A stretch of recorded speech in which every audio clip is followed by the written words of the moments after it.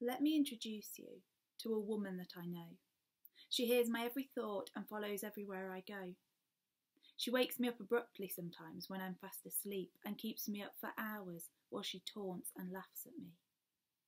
She takes joy in convincing me that I am hard to love, that if I'm less than perfect, then I'll never be enough. She shakes the ground I stand on and talks down what I achieve. She highlights all my flaws to me and tells me I'm naive.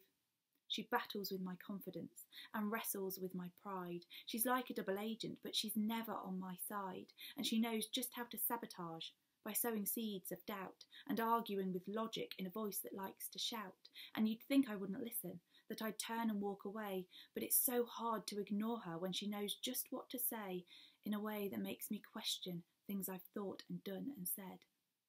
You see, she is an impostor, and she lives inside my head.